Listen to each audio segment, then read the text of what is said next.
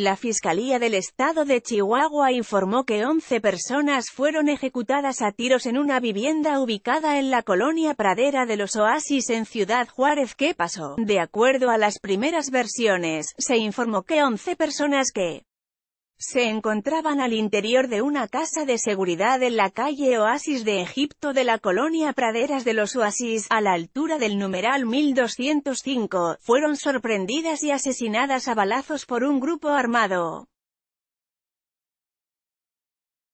El vocero de la Fiscalía Zona Norte, Alejandro Rubañstaba, confirmó que la totalidad de personas fueron asesinadas con un arma de fuego de grueso calibre.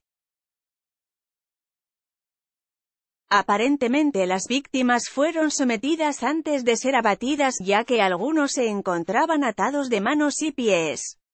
Este hecho se registró a unas cuadras del Cerezo Estatal número 3 en la ciudad fronteriza de Ciudad Juárez.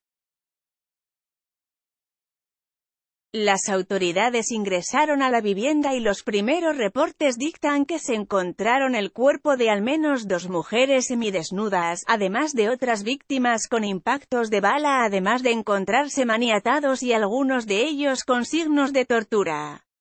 Podría interesarte, video, el rinoceronte que atacó una camioneta en el safari del Puebla Sombra, la perra policía amenazada por el narco en Colombia Sam Alvarado.